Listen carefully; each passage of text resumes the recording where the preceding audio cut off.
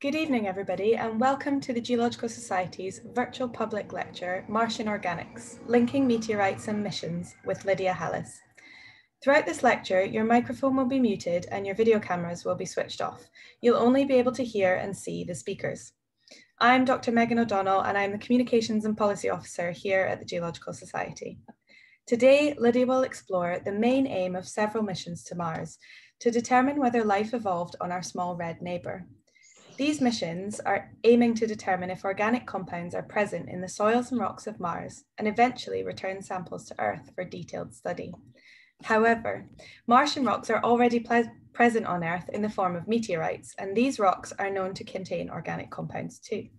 During this talk, Lydia will outline what we can learn from these meteorites and how they might help our investigations on the Martian surface.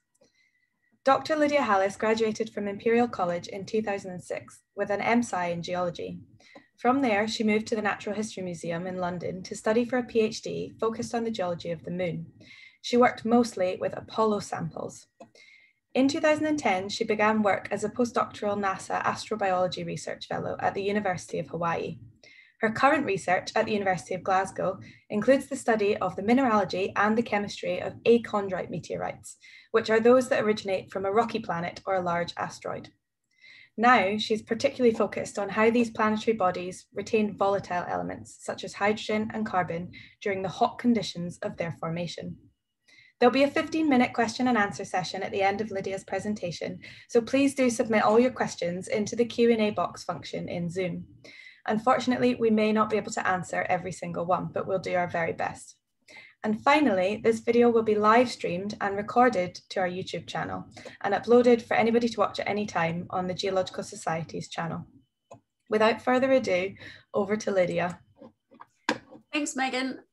So yes, today I'm going to be talking about Martian organics and specifically how we link the mission data that we get from Martian organic compounds to the meteorites that we have present here on Earth that we know are from Mars. So this year has been a really, really busy year for Martian missions. There have been three successful missions that have already either landed or inserted into orbit around the red planet. The first was the United Arab Emirates HOPE orbiter, which was inserted into orbit this February. Then we had the NASA Mars 2020 Perseverance rover successfully land on the surface of Mars, and the Ingenuity helicopter, which is attached to the Perseverance rover, has now had five successful flights around the surface of Mars. So that landed also in February this year. And then the China National Space Academy had an orbiter, a lander, and the Zhurong rover land successfully um, at the surface of Mars this month in May 2021. So this rover has just successfully left its uh, landing pad and is uh, currently exploring the surface of Mars. And that makes China only the second country to successfully land anything on the surface of Mars. So that's after um, NASA with the USA. So this year has been very busy. It's also been very successful. And as you can see from this diagram, we have become more and more successful at um, orbiting, uh, flybys, landers, and rover missions as time has gone by. So early on, um, the Martian missions were pretty unsuccessful. Um, uh, we, we only landed something successfully on the surface of Mars uh, the first time in 1975. And those were the two Viking missions. So Viking 1 and Viking 2, they were successful landers uh, by NASA and they explored the Martian atmospheric composition. They took some photographs. Um, and then it wasn't until 1996 that we had another successful um, lander, Mars Pathfinder, with a little rover attached that was sort of toy-sized rover. Um, didn't go very far, a few hundred meters, um, and explored the surface geology of Mars. Um, in more recent years, the missions have become, there have been more successes than failures. Um, so NASA has been really successful with its rovers. Um, in 2003, it sent two Mars, Mars exploration rovers, Spirit and Opportunity, um, two at the same time because of redundancy. I think they expected at least one of them to fail. And actually, they were both successful. So they both landed on the surface of Mars at two different places and explored two potentially habitable sites. So those are sites where it's thought that there were once liquid water or evidence for liquid flowing water on the surface of Mars. And actually, the Opportunity rover only just died, um, so it was it was exploring for um, more than a decade on the surface of Mars. Then we have lots of successful orbiters. Um, but the next lander, the next rover was the Mars Science Laboratory. So that's Curiosity in 2011. And that rover is still operational. It was also by far the biggest rover to ever be landed, the biggest thing ever to be landed on, on the Martian surface. Um, the Mars Curiosity rover is the size of a small car. I think it weighs close to a ton. Um, so that was a really, you know, that was a really big success. Um, now, the missions that aren't included on here are the ones that I've just mentioned because they are very recent from February. So that's Mars Perseverance rover, um, the Chinese rover, and the UAE orbiter. They're not included on this diagram. Um, but this year has been very busy. And as you can see, there are still missions that are operational. So Mars Science Laboratory is still operational. MAVEN, we've got the InSight uh, lander that's not uh, it's not finished on this diagram, but that was a successful um, landing as well by NASA. Um, and now there is a Chinese uh, rover on the surface of Mars. So what are the objectives of these missions? Um, well, the UAE HOPE orbiter, um, so that's not a lander, it's just uh, orbiting uh, around Mars. Um, but the aim of that uh, mission is to look at the Martian atmosphere, so the chemistry of the Martian atmosphere and the Martian climate. Um, the Chinese rover is to, uh, the objective is to study the geology and the structure of the soil there. Um, but the NASA Mars 2020 Perseverance rover is really focused on habitability. So it's looking for signs of ancient and current life on the Martian surface. And it's also, really importantly, collecting rocks and soil samples and caching them in a, a, collection box for future return to Earth. So there will be a future mission that goes to Mars, collects the samples, and then another mission that brings those samples back to Earth. And that's really important because there are certain studies that we can do here on Earth in laboratories that we cannot do. The rover cannot do. So, um, you know, using big instruments that may be the size of a room, that need huge power sources, that weigh lots, that you can you can never possibly send to Mars um, at the current time, but we can bring samples back from Mars and we can analyze those samples to look for signs of life. There's also a future um, European Space Agency mission, the ExoMars Rosalind Franklin rover, which will hopefully launch pretty soon. Uh, 2022, I think, is its new launch date. And the interesting thing about this rover is that it will drill into the subsurface. So it has a drill that has the capability to go two meters below the surface and collect samples to analyze from below the surface. Now, this is important for Mars because there's a lot of radiation on the Martian surface. So in terms of looking for current life or even signs of past life, what we're looking for is organic molecules. So that would be hydrocarbon chains with some kind of a functional group that contains oxygen, nitrogen, phosphorus molecules, that kind of thing. The type of thing that makes up cell walls, protein, DNA um, on Earth that we know are the building blocks for life. Now, these molecules are really um, affected by radiation. They are broken down. So even um, the most resistant rad- uh, microbes that we know of on Earth that are resistant to radiation, they wouldn't be able to reproduce on the surface of Mars and survive for very long because there's so much radiation coming in from the sun. The Martian atmosphere is too thin to really protect the Martian surface from this radiation. However, if we go to two meters below the surface, that radiation can't penetrate through the soil. And so two meters below the surface, you may have life that is protected from that radiation. And you may have signs of past life that hasn't broken down as much as at the surface. So that's the aim of the, the ExoMars Rosalind Franklin rover is to drill down and maybe get a sense of, um, of the complex organic molecules that aren't present at the surface.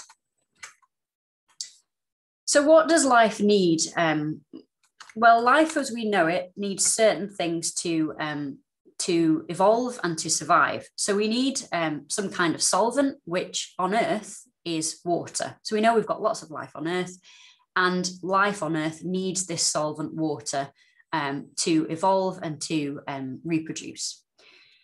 There also needs to be an energy source, and on Earth, that is either energy from the sun or it can be energy from hydrothermal vents. So, in places like the deep oceans where the sun, sun energy doesn't penetrate, um, you can have something called chemotrophic organisms, which it just means they get their energy from the chemistry and the heat of these hydrothermal vents.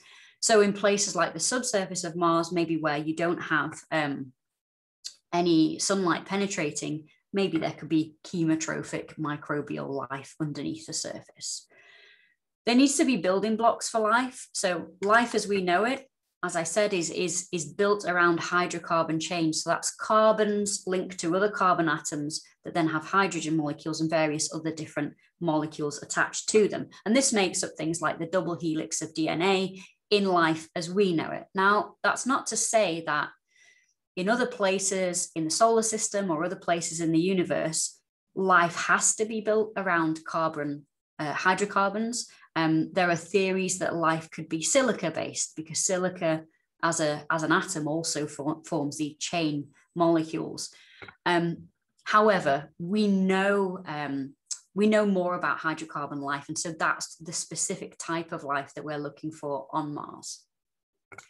Life also needs to be able to survive, so there needs to be a stable environment. We can't have huge big asteroid impacts there can't be huge temperature fluctuations um, in, in, a habitat, in a habitat where life will survive. It has to be a stable environment. So in this case, things like the radiation on the surface of Mars may be preventative to the survival of uh, Martian life, but the subsurface environment may be more stable in terms of temperature and also in terms of having less radiation. So the mission's um, objectives really are to, to figure out, does Mars have all these things for life to survive? So is Mars habitable? And if it is habitable, did life ever evolve? Um, and is life present on the surface of Mars? For me, the interesting question is, if we find that Mars is habitable, but there is no life on Mars, then what what kind of questions does that raise for life on Earth? It, it would really suggest that that life is very very rare, um, and that that the Earth is is is an anomaly rather than life being very common common in our solar system and potentially in our universe. So you know whichever way this goes, whether there's life or whether there isn't life on Mars, is still an important question to answer, even if the answer is no. So whereabouts are we looking on the surface of Mars to get um, to find these habitable environments? This is um, a topographic image of the Martian globe. So it's just like a map of the Earth. Um, we've got uh, the southern hemispheres toward the bottom and the northern hemisphere is up towards the top of the image. Um, and the colors on this image show altitude. So the high mountains are colored in brown and orange and red and then the lowlands are blue and um, purple. So as you can see, there's kind of uh, a difference between the northern area and the southern area of Mars. The southern area is quite high in terms of altitude. We call it the Southern Highlands. Apart from this big Hellas Basin, which is a very, very deep sort of impact crater in the sort of southern um, right-hand side of the image there, most of the southern hemisphere is quite high it's also very cratered. You'll see there's a lot of craters present in the, in the Southern Highlands. If we then move to the Northern Hemisphere, you can see that it's much lower and it's much smoother. There are much less craters. Now, in terms of planetary science, less craters equals younger terrain because it's had less time for craters to impact and build up over time. More craters means older terrain. So we've got the older Southern Highlands and then the sort of younger um, lowlands of the Northern Hemisphere. Now you'll see that a lot of the rover and lander missions actually focus on the area between these two regions. So that sort of green blue area where we change from Southern Highlands to Northern Lowlands. And that's not an accident. These areas are focused on because these are the areas where there's a lot of evidence for flowing water. So things like dried up riverbeds, um, old crater lakes that were potentially filled with water. They tend to occur along this, this region where that green altitude kind of changes to blue. Some people think that in the past, Mars actually had a northern ocean and that this change in topography from the green to the blue demarks a coastline of, of that ancient ocean on Mars. Now, that's not 100% agreed on, but it definitely is an area where we see a lot of activity of rivers flowing from those southern highlands down into the northern lowlands. And actually, around where the Pathfinder and the Viking 1 and the ExoMars labels are, you can see that um, there is evidence there of, of sort of river channels and, and large channels flowing into um, the northern region. So these are some images of those river channel evidence. Now, the first time that there was really conclusive evidence that there are dry riverbeds on Mars was from the Viking orbiters. So this is uh, the, ninth, the mid 1970s. The imagery is not great. Um, this is a 160 kilometer across image, and you can see it's, it's a bit pixelated, it's black and white. There's not much detail in that image, but you can definitely make out that there is a dried up riverbed system there. All of these channels merging into this larger river channel. Now, obviously, more recently with HD cameras and color photography, we've managed to get much better resolution of the surface of Mars. And in fact, the cameras on the orbiter uh, missions that are currently working are so good that they can actually image the tracks that are left behind by the Curiosity rover, for example, on the surface of Mars. You can see things at the meter sized pixel. So um, we're really focusing in on high resolution images. And this is a really good example. This color image is a really good example of an area uh, that I can't pronounce, Hephaestus Fossae. It's Latin. I think it means something like the fire god um, because it's on the side of a big volcano. Um, but this is um, a crater in the towards the top of the image there that was once thought to be filled with a lake. And the lake overflowed and formed this nice channel system that's kind of working its way towards the bottom of the image. And you can imagine that water was flowing there and there were islands in the center of this channel system. Now, this system is more than 600 kilometers long. Um, it's on the flanks of a big mountain um, in a region known as Utopia Planitia. Now, that's the region that China just landed its rover in. So, the Chinese rover is really exploring this region the geology and the chemistry and the soil in this region to figure out, you know, is there any evidence of uh, past flowing water on Mars? When did it disappear? When did Mars dry out in this region? Those kind of questions. So it'd be really exciting to see what comes from this area in the next uh, few years. This is an image of Gale Crater, and as you probably know, this is the site for the NASA Curiosity rover. So this is where Curiosity rover landed in 2011, and this is where it is still currently exploring. And the reason for that is Gale Crater is really big. So the horizon in this image is basically showing you the crater rim. And it's thought that at one time, this whole crater was filled with a, a long-lived lake, so a long-standing body of water. And we know this because as you can see in the foreground here of this image, there are these layered rocks. Now, these are thin layers of mudstone and sandstone, and they are quite a thick layers. They're all built up on top of each other. Now, these layers form by sediment coming in, by feeding in sediment into this lake from the river systems that feed the lake. And then the sediment settles out from the water column and forms these layers of, um, of sediment over time.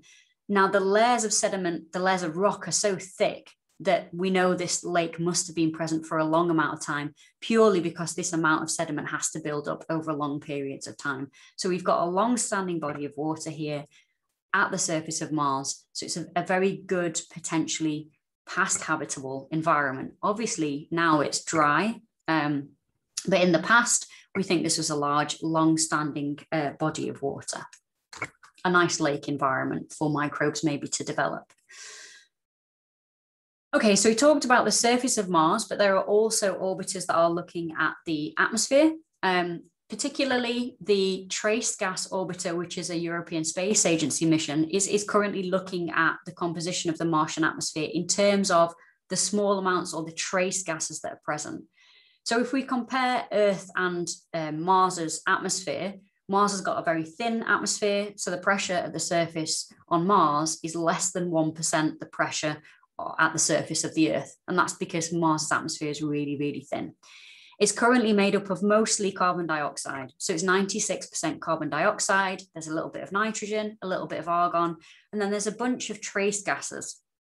And these include methane. So methane is present as a trace gas, and methane is what we'd call it an organic molecule. It's it's a simple organic molecule. It's just one carbon atom and four hydrogen atoms. So the trace gas orbiter, the ESA trace gas orbiter, has been monitoring the abundance of methane in the atmosphere of Mars because it's an organic molecule and it's known on Earth to be produced by biological activity. So this plot just shows the abundance on the y-axis of methane in parts per billion. So as I said, it's a trace gas, parts per billion, there's a really, really small amount of it, but the trace gas orbiter is really good at detecting really small amounts of methane. So these points are showing different, um, different analyses of the trace gas orbiter over time, over a period of a year. And you can see there's spring, summer, autumn, and winter marked on the x-axis there. Now, what you can see from this curve that these points form is that in the spring, at the end of the spring, there is not very much methane present in the atmosphere. But as summer develops into autumn, so as the temperatures rise, the methane in the atmosphere becomes more abundant. And then as the temperatures get lower again towards the winter, the methane again kind of drops, the abundance drops, and it kind of disappears out of the atmosphere again. Now, this was confusing, and uh, and people are still trying to figure out why there is this sort of cyclical change um, of methane, but it clearly relates to the temperature at the Martian surface. There are two kind of theories about how this methane develops. Now, as I said, methane can be um, a product of biological activity. So when microbes respire, when cows eat grass, they produce lots of methane. Now, I'm not saying that there are any cows on Mars, but there may be microbes in the subsurface that are producing methane. And what could happen is that this methane gets stored in a molecule, uh, molecules known as clathrates, which are generally present in ices um, in the subsurface. And when the surface heats up and that ice melts, the methane is then released. So in the summertime, the methane that's being produced is released. So this methane could be produced by subsurface microbes. The other scenario is that it's produced by chemical reactions between subsurface rocks and subsurface liquid water, that it's then stored in the ice and is released in the same way. Now, being able to tell the difference between whether this methane is from microbes or the methane is from just a normal abiological or geological reaction um, that doesn't involve any biology, the trace gas orbiter cannot do that. All it can give is information whether there's methane present and how much methane is there. It can't say where the methane came from. So this is an open question right now.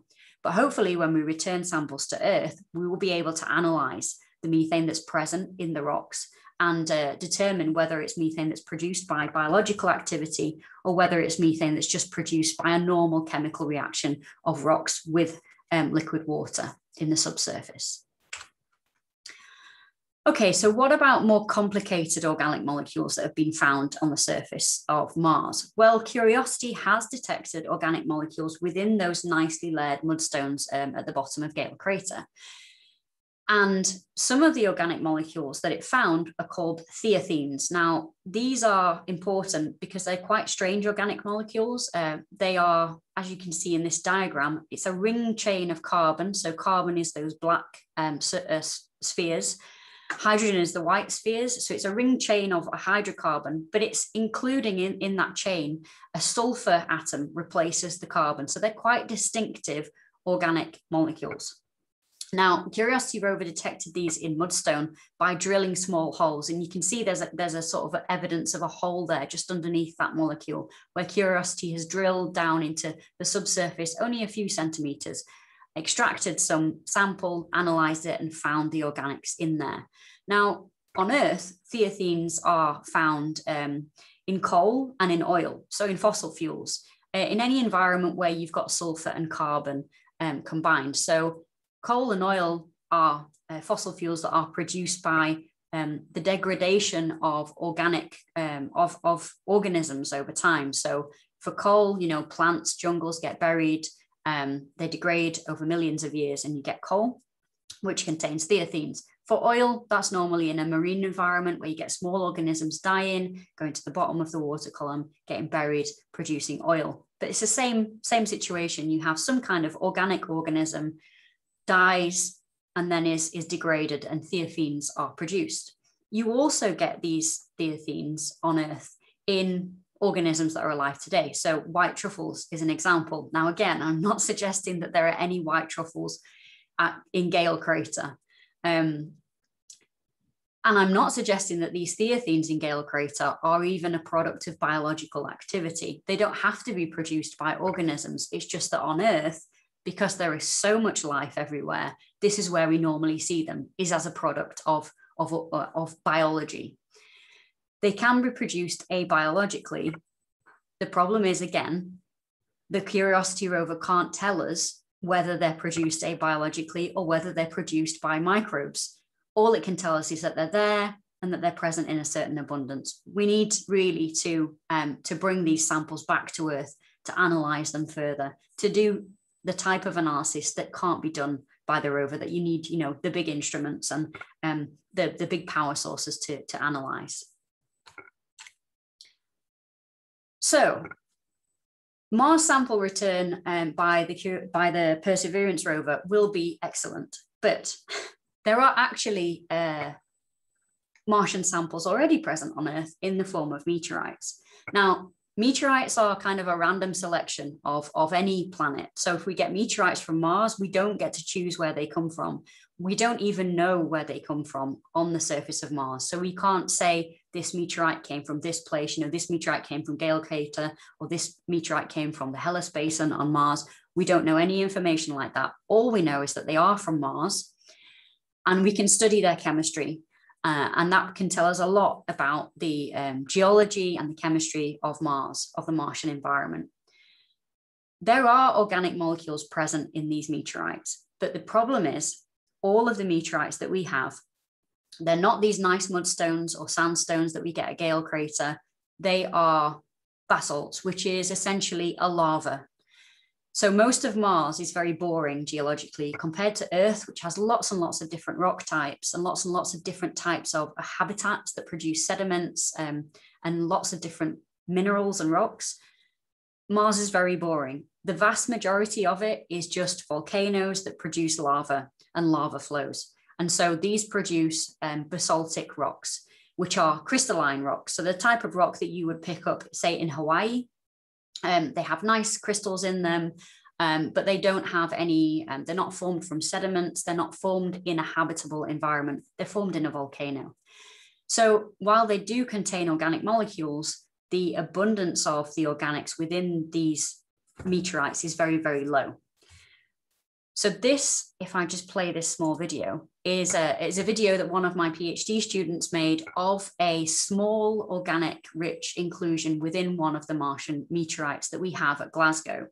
So this dark um, sort of sludgy speckly thing is, uh, is largely made up of um, a sort of tarry substance, kind of like kerogen um, or, or road tar that you would put, tarmac is, is, is, is what it is really.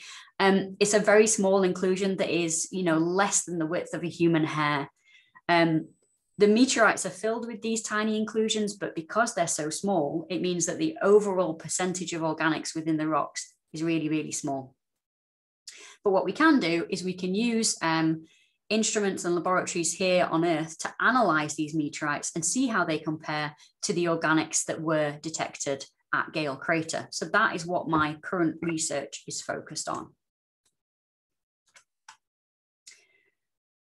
So we have different groups of Martian meteorites and they range in age between 4.1 billion years old to 180 million years old. Now that age distinction is really important because the oldest meteorite at 4.1 billion years old is within the sort of early warm and wet Martian environment when we think maybe there was a northern ocean, when we know that the atmosphere of Mars was much thicker than it is today. So when Mars was potentially much more habitable than it is at the present day. So there's one meteorite that we know of that is that is that was formed at the Martian surface during this time. Most of the meteorites, however, are were formed much later during this orange Amazonian period on the timeline when we know that Mars was colder, was drier at the surface. So all of those nice riverbeds and lakes had dried out. There was definitely no northern, northern ocean anymore, and the atmosphere was much thinner. So potentially most of the meteorites that we have were formed in this kind of less habitable time of, of Mars's history. As I said, the majority of them are lava rocks um, that, that form from volcanoes. Um, some of them were seen to fall, which is important because um, Martian meteorites get to us by something hits Mars. A lot of material is blasted from the crust of Mars, and some of it escapes Mars, the Martian atmosphere. A small amount of it is directed towards Earth and then survives Earth entry and lands on the surface of Earth. And we see those as, as sort of shooting stars. Now, some of these Martian meteorites were seen to fall through Earth's atmosphere and were collected almost immediately. That's really good if we want to study the organic content of those rocks, because obviously, if the meteorite is left for thousands of years sitting on the Earth's surface, any sort of microbes or organic molecules that will be present in it are probably going to be contamination from the earth environment that it's been sitting in. You know maybe it was sat in mud maybe it was sat in a jungle somewhere it's going to get really contaminated. So the ones that were seen to fall and were picked up by somebody immediately are the really important ones in terms of looking at organic content there have been some that were found in desert environments where people have deliberately gone to collect um, or gone meteorite hunting, as we call it, um, in Antarctica and, and, dry places such as the North African desert. And those are great because um, it's quite dry there, so they don't get rained on too much. They won't get too weathered. But in terms of the organic content, we, we really want to look at the really fresh ones that were seen to fall.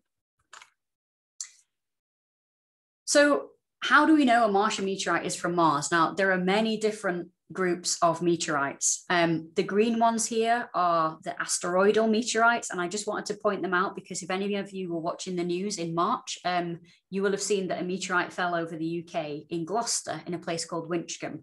Um, and uh, the team here at Glasgow immediately rushed down, and I never thought that we would find any, but we actually found lots and lots of meteorite. And as it turns out, it was one of these chondrite meteorites that come from an asteroid, very rich in organic molecules um, and very fresh because it was immediately picked up. So, just as an aside, we've got lots of that. We're analyzing it at the moment, and that was very exciting but it wasn't Martian, unfortunately. I had my fingers crossed that it was going to be Martian, um, but it wasn't. It was an asteroidal sample. So they are very common. All of those green um, meteorites there, they're the most common meteorites that you get because they're from asteroids, and there are lots and lots of asteroids in the solar system. Those meteorites land to Earth all the time, but they also land on Mars all the time. Um, then we've got these blue meteorites, which are which is everything else. So anything that's ever been involved in um, a large planetary body. So we've got the Martian meteorites identified. We've got lunar meteorites identified. We know that those are from Mars and that lunar meteorites are from the moon. There are other groups in here that we know were part of a planet, but the planet has never been identified. And that's because these planets don't exist anymore. So in the early solar system, there were probably hundreds of, of rocky planets similar to Mars, similar to Earth, but not all of them survived because they all hit into each other and kind of, you know, Mercury, Venus, Earth, and Mars are the four rocky planet survivors of that really chaotic early period in time. So all we have is fragments that are left from these meteorites. We can group them together, but we're never going to identify the planetary body they came from because it doesn't exist anymore. But the Martian meteorites we can group together, and we know they're from Mars. So, how do we know they're from Mars? In my opinion, this is one of the coolest bits of science ever done. Um, but I am biased because I'm a planetary scientist. So, in 1975, as I mentioned, there was the first uh, successful landers, the NASA Viking landers landed on the surface of Mars. And one of the experiments um, that they were due to do is to test the composition of the Martian atmosphere. So they sent that data back to Earth and um, somebody had the bright idea of oh you know we've got this this group of rocks that we know are um, in terms of the minerals that are in there in terms of their ages are all grouped together but we don't know where they came from maybe they could be from Mars. And somebody had the genius idea of um, cracking open one of the small bubbles that are present inside these lavas. So as a lava crystallizes, sometimes it capture, captures a bit of gas from the atmosphere of whichever planetary body it's erupting onto. Um, and they popped open one of these sort of encapsulated bits of gas and they tested the composition of the gas inside the rock. And they found that it was the same as that given by the Viking lander as the composition of the Martian atmosphere. So, in that way, they were able to link these meteorites with the Martian planet. So, that's how we know that Martian meteorites are actually from Mars. As I said, there are various different groups. And for our analysis, we decided that we were going to look at two of the Nakhlite meteorites. So these are um, very fresh meteorites. They are not terrestrially contaminated. They are um, from this sort of young Amazonian dry period uh, of Martian history, but they do contain evidence of small amounts of flowing liquid water um, present within these lava flows on the surface of Earth after they erupted. So potentially they were from an environment that did have a small amount of liquid water. So this kind of gave me hope that we would be able to find um, evidence for lots of organic molecules within these two meteorites that were called Nakhla and Lafayette. Now, this is where I got a student to do all the hard work. Um, so, my student Anya spent a very long time um, having to process these meteorites. We get given a very, very small amount of meteorite to analyze because our analysis involves basically crushing the meteorite up with a small pestle and mortar, uh, powdering it, and then using various solvents to extract the organic uh, molecules within there. Then we freeze down the extracts and we analyze them with um, a uh, instrument in Glasgow, which is, is called a liquid chromatography mass spectrometer. Now, this is a similar method to the method that Mars Curiosity rover used um, on the surface of Mars to analyze those mudstones at Gale crater. The difference is that it actually can identify much lower abundances of organics um, than the instrument that's present on the Curiosity rover. So um, liquid chromatography mass spectrometry is normally actually used for forensic analysis of, you know, tiny little blood spatters, that kind of thing, really, really low amounts of organics. And it will give you every single molecule that is present in the sample that you are analyzing. And it will tell you the abundance of that molecule as well. So that's what we wanted because we knew there wouldn't be very much organics present in these Martian meteorites. So this is our data, and initially, oh, you know, this looks really complicated, but actually, um, this plot is is pretty simple to read. So anything that's in that blue circle that says all of the samples, they, those are all of our um, blanks from the lab. So that's testing that we've not got any contamination in, in the samples. Um, and we tested some terrestrial basalts from Earth as well, from the Svalbard Islands, just to compare terrestrial lavas with Martian lavas. And what we wanted to see on this plot was that all of those um, Earth samples were separate from our Martian samples. So from Nakhla, which is circled in orange there, and from Lafayette, which is circled in purple. And that's what we got. There's a clear separation there between all the Earth samples, which cluster together, and those two Martian samples. Now, Nakhla and Lafayette are both from the Nakhlite group of Martian meteorites. They both came from the same site on Mars, they're the same age, and they were blasted from the surface of Mars at the same time. And what we were expecting is that they would plot on top of each other because they're from the same place on the same planet, the same lava flow sequence. Um, but they plot way away from each other. And this is something we really, really didn't expect. We expected them to be different to the terrestrial um, organic compounds. So we were expecting to see, you know, Martian organics are different to Earth organics. But what we didn't expect to see is that Lafayette organics are different from Nakhla organics. To me, initially, I was very surprised with this. This kind of didn't make much sense. So what did we, what molecules did we find within uh, and Lafayette? Well, we did find sulfur bearing organics. That's similar to those uh, thiophenes that were found at the Gale crater. This is an example. Pentanus sulfonate is, uh, was detected in Lafayette and this zigzag sort of chain just shows the, the carbon uh, chain um, hydrocarbon, and it's got this functional group with a sulfur and some oxygen on the end of the molecule there. We also found lots of fatty acids and lipids, which are typically on Earth the kind of thing that you find making up cell walls uh, in, in, in a microbial cell. These are found in other meteorites, in carbonaceous chondrite meteorites, like the Winchcombe meteorite that was found in the UK recently. And they're very common in these carbonaceous chondrites. Um, they've not really been reported on Mars before. And so this was kind of like, okay, well, maybe this is, you know, pointing us towards a, a source for Martian carbon that is more asteroidal um, meteorites hitting the surface of Mars and then being incorporated into these lava flows. Um, but that's, we're not certain about that. Um, so this is just an unpronounceable example of a fatty acid that we also detected in Lafayette. Generally, they're quite long chain uh, molecules. So, in terms of determining whether um, the source of uh, Martian organic molecules is the Martian subsurface, so whether the, those organics come up with the lava from a magma chamber that's deep inside the, the Martian crust or in the Martian mantle, um, or whether the organics are delivered from asteroidal, you know, carbonaceous chondrite type meteorites from asteroids to the surface of Mars and then incorporated into um, lava flows that, that made up the nakhlite meteorites. We're not certain uh, at the moment. I can't say. We need more. We need more data.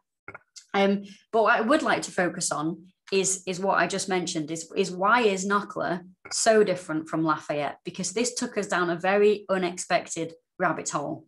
Um, so this was a very surprising plot and as you can see, Nakhla and Lafayette are very separated here. So they have very different organic compounds. Now, Lafayette, um, was seen to fall in Egypt in 1911 and was collected very soon after it fell. So it has a very clear fall history. Someone saw it fall, someone picked it up. It was given to the Natural History Museum in London. Lafayette is, is uncertain.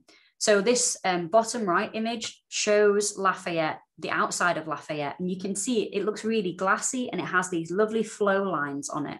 And that's typical of a very fresh meteorite where you can see what's called the fusion crust, which is this black um, glassy exterior. Now, if a meteorite has been sat around on Earth for any amount of time, that sort of black outer layer disappears and you start to see rusty spots. And then eventually um, the interior of the meteorite will be cracked and broken open. So Lafayette looks very fresh. Now, there is a story um, that it fell in a place called Lafayette in Indiana. And it was definitely found in a drawer at Purdue University, which is in Lafayette in Indiana, and recognized as a meteorite in 1931. But what's not known is what where it came from before it was put into that drawer. There's a story that there was a black student at the University of Purdue who saw the meteorite fall as he was fishing and it fell in the lake. He fished it out of the lake, he took it home, and eventually he donated it to Purdue University. But unfortunately, the student has never been identified because we weren't sure of when um, it fell, what year before 1931 this meteorite fell. Um, the member of staff that he told and uh, gave the meteorite to died. And the person who published this paper um, that's on the left hand side, which was published in 1931, Nininger never met either the student or the member of staff. Um, I think it was hearsay at this point that this is what where this meteorite came from. So this is a good story, but it's not corroborated. The year that it fell is unknown. The student that that, that this story came from was never found, but it does look very fresh. So I'm telling you this because the molecules that we found in the Lafayette meteorite, by far the most abundant um, organic molecule we found in this meteorite was something called vomitoxin. Now, immediately this jumped out at, at myself and my student because normally complex molecules like this do not have a name. They are numbered and they have a very long sort of um, uh, nomenclature name in chemistry. They don't have a nice short um, name like this. They only have a name if it's a known molecule that has been studied and that is known to form in some way. Um, so that name jumped out at us, and we did a bit of digging um, during lockdown when we had nothing to do. And we found out that it's produced, vomitoxin is produced by a, a disease that affects wheat. it's a fungal disease known as whitehead scab. And it, it really causes wheat crops to fail. So it's a very studied molecule. This also means that it's very likely that this is a terrestrial contaminant from the place that Lafayette fell. So this gave us a clue as to trying to figure out where the fall site for Lafayette is. Where is this vomitoxin, this whitehead scab molecule prevalent in the world? So what we know is that um, whitehead scab is produced in warm and wet spring times uh, when there's been lots of rain before the wheat flowers and as it flowers on irrigated farmland rather than rain-watered farmland and where wheat is planted the year after wheat has been planted or corn has been planted. So we're looking at an irrigated, arable, permanently arable farmland in a warm, wet climate. Now, Lafayette is in Indiana in Central America, which is a very arable um, state. And near Lafayette itself um, is Tippecanoe County, um, which is an area of 1,303 kilometers squared. Now, on doing a bit of research, one of the first websites we found was actually a website from Indiana. Um, there's a whole institute dedicated to this whitehead scab because it's so prevalent in Indiana that crops fail and it makes livestock sick, um, which we think is why it's called vomitoxin because it makes livestock vomit. So it poisons livestock. So they really keep track and have kept track of, of outbreaks of this disease since the 19th century. So Purdue University was founded in 1869. So that gives us a 62 year window in the Indiana region where we can say, okay, we think the whitehead scab um, vomitoxin is present in Lafayette, which shows that it was it fell in an area where there's lots of whitehead scab. We know this is prevalent in Indiana. We know that Purdue University was founded in 1869. So there's 62 years between then and 1931. So we tried to track down um, years when vomitoxin, when whitehead scab was very prevalent, and does that coincide with years when there were Black students at Purdue University graduating? So it's a complicated detective story. I just put that picture in because uh, I find it funny that I, it makes pigs vomit, and that's why it's called vomitoxin. Um, so apparently 1919 was the year for whitehead scab in the in the uh, Tippecanoe County region where it was very very prevalent. So that seems like a very likely fall year. And at the moment, what we're trying to do is track down um, whether there was a Black student that graduated or that was present at Purdue University in and around 1919. Now, that may seem like a difficult job, but actually it's not difficult at all. The founding of the university in 1869 and 1931, there were only three Black students that graduated from Purdue University. All three of them were present during that time, during 1919, and could have could have graduated um, during that time. So the search continues as to who done it, who who which one of those three students was potentially the, the person that saw Lafayette fall and can corroborate this story. Um, and we're currently trying to um, get some more information about those students and potentially get in touch with relatives to see if you know Grandad ever talked about seeing a meteorite um, fall but we, we we're very happy that we've kind of tracked down and, and potentially corroborated and figured out the story of of how um, Lafayette kind of came to be in this draw at Purdue University. Okay, so with that, I'm gonna I'm gonna stop, um, and I uh, hopefully there are time for some questions. Thanks so much, Lydia. I absolutely love that, um, almost like a who done it yeah. done it. Um, it's such a really interesting way to like trace back a sample through time and i guess reinforces the importance of good sample collection and recording doesn't it? Yeah yeah definitely. Um, i think whoever was the curator that just put that um, sample in a drawer um, i think they thought it was a glacial rock and was unimportant. Um, and it does make me wonder whether if the student had been a white student, would they have paid more attention to the story? You know, um, because this is 1931. Uh, I think maybe the fact that it was a black student, they just thought, well, you don't know what you're talking about. You know, if it had been a white student, would it have been different? Um, I wonder but, how many meteorite samples are languishing in drawers because uh, they weren't correctly identified at the time. I suspect there are lots of meteorites in drawers in ancient museums just sitting there waiting to be rediscovered.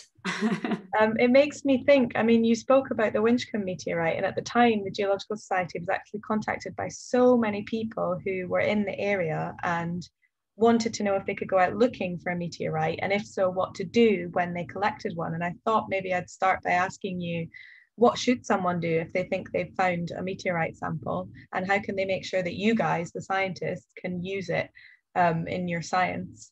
Yes.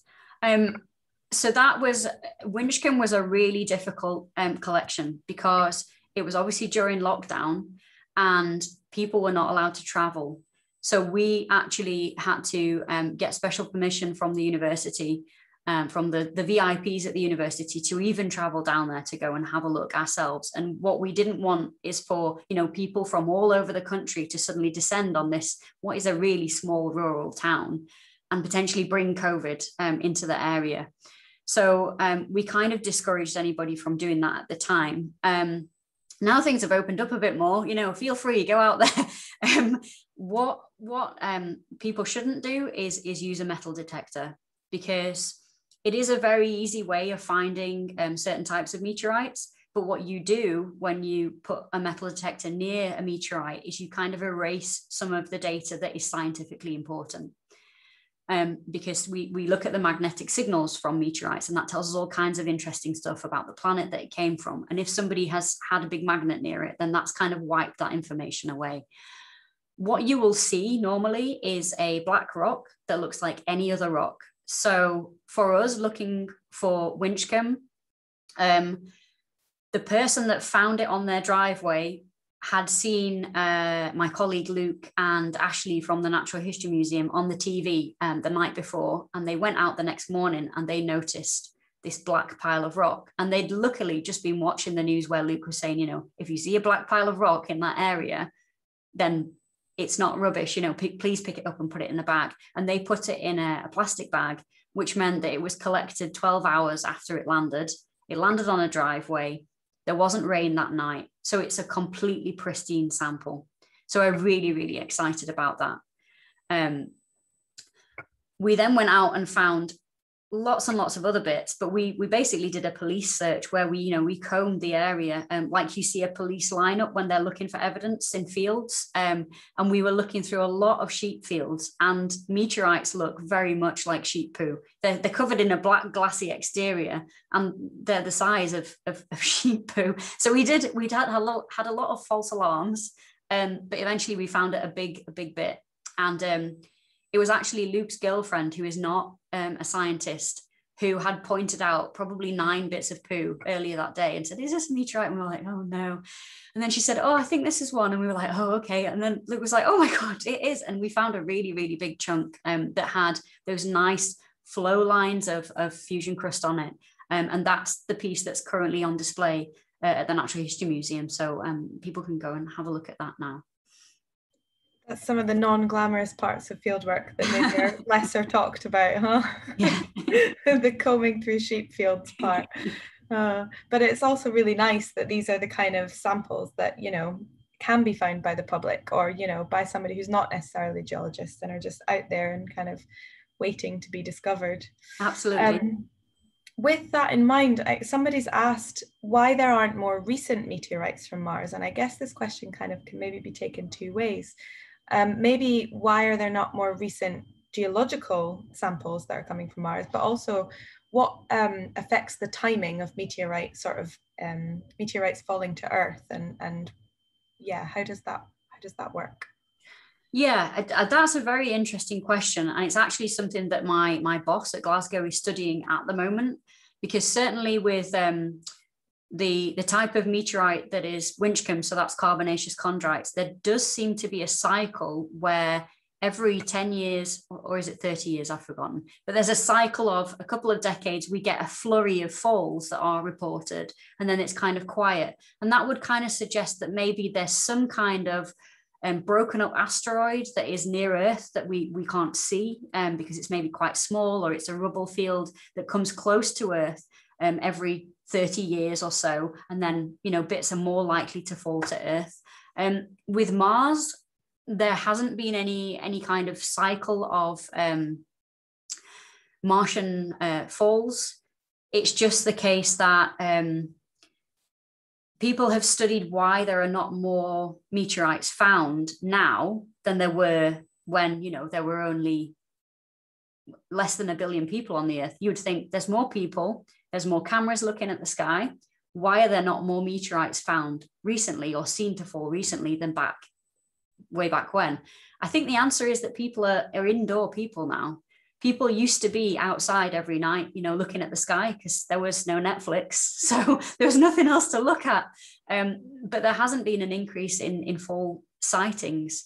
They are very difficult to find. You need to have um, more than one person see it so that you can kind of triangulate the direction that it was going, where it fell. Obviously, most of the Earth is ocean. So we do have a camera network in the UK that looks at the sky. And that's partially how we found Winchcombe is because we triangulated that fireball that was seen and we, we pinpointed down to that, that small area.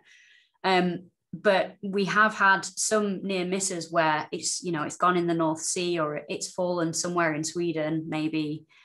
If it falls anywhere like Scotland, um, if it falls in the summer over England, you are very, very unlikely to find it because any amount of grass, even grass that's sort of ankle height, you'll never find a meteorite in there unless it's a huge one that's made a big crater. They don't make big craters, they tend just to plop on the ground and sit there and they just look like any other rock. So unless you physically see it fall, it's really difficult to find them something I guess that makes something that's already quite rare feel even rarer when you get your hands on that little piece that you get to put in your mass spectrometer. Oh, definitely. I mean, I, I said to Luke when we found that meteorite, you know, this is the highlight of our career and it's all downhill from here. um, so I've got a question here from Irene who wants to know obviously, we have meteorites that fall to Earth from lots of different planets, uh, Mars being one, but are there meteorites of Earth and other planets on other bodies in the solar system. So do other planets also get meteorites? Yes, absolutely. Um, so that is something that is really highly sought after is a meteorite of Earth that we can find on the moon because Earth has um, plate tectonics, so the crust is, is being recycled all the time. And what that means is that we don't have rocks from Earth's earliest history so, in terms of us figuring out the early history of Earth, we don't have any geological record, but there could potentially be a meteorite, an Earth meteorite present on the moon somewhere that was blasted to the moon, you know, four billion years ago and has just been sitting there. There's no weathering on the moon. It's just going to be perfectly preserved in this vacuum atmosphere, but nobody's found it yet. But that would be a really exciting find when we do find that. Okay, that's exciting. So um, maybe Irene could be the person who could uh, be the scientist who could find that and study that really unique sample as well. Um, I think we've probably got time for one last question. Um, it's about how scientists such as yourself can tell the difference between life that originated on Mars or organic molecules that originated on Mars and those that might have been brought by us. And I think you touched a little bit on that in when you were showing us one of your plots. I mean, you have lots of kind of samples that you run through the machine to show you what an Earth version might be. But could you tell us a little bit about how you, um, I guess, confirm that the life or the organic molecules that you're picking up from these samples are definitely not just ones that we've put there in the first place? Yeah, um, that is that is also a really good question. so for the Mars sample returns, the um, the probe that is sent up, everything is sterilized to the highest highest degree before it's sent there to make sure that we don't contaminate Mars with with Earth life, because obviously we don't want to um, wipe out anything that could potentially be present there. We don't want to confuse ourselves by you know detecting Earth life just because it's come back from Mars, but we we took it there in the first place. Um, that's something that that NASA and all of the space agencies are really really careful about um, in terms of meteorites, it is more difficult because they they over they, they have they have got um, terrestrial contamination in them. But there are things you can do to separate out the terrestrial molecules from the Martian molecules. One of the best ways of doing that is to look at um, hydrogen, different types of hydrogen that are present in those hydrocarbon molecules. So on Mars, the hydrogen um, is heavier. Most of the hydrogen has a heavier mass, so its atom is, is actually heavier. So you can analyze that in the labs here on Earth, and you can look at the hydrogens that are attached to each one of those carbon molecules, and you can say that molecule is Martian because it has heavy hydrogen. That molecule is terrestrial because it has light hydrogen, as we would expect on Earth. Unfortunately, um, the instrument that does that is, you know, the size of a room. It requires huge power sources, huge big magnets. You would never be able to do that um, with a with a rover currently. Um, so so the Curiosity rover can't can't tell us whether it's just looking at contamination that it's brought itself. We're pretty sure it's not. Um, because they're all tested, you know, anything, any rubber that's attached to them, they're all tested for what molecules are present in there. And so they know the record of all the molecules that they're likely to detect that are on the rover. Um, but yeah, in terms of um, meteorites, it, it, needs to be um, this, this hydrogen study, which is something that we are working on. That's the next stage of, of our analysis to pick out which ones are definitely Martian and which ones are definitely terrestrial molecules. Well, that's really exciting that somebody had the foresight to, you know, predict actually where the research is going, as well as ask some questions about some of the older yeah. stuff. Um, thank you so much, Lydia. This has been absolutely fantastic. Um, I see in our Q&A actually somebody's just asked if a recording will be available um, and it will. So if anybody didn't catch the beginning or you want to watch again, um, it'll be available on our YouTube um, as soon as this is over. So you can catch up anytime, you can watch again and you can share this lecture. Um, thanks so much, Lydia. For no problem. This was fun. And uh, I hope I hope maybe we can see you all again next time for our next public lecture. So thanks and goodbye.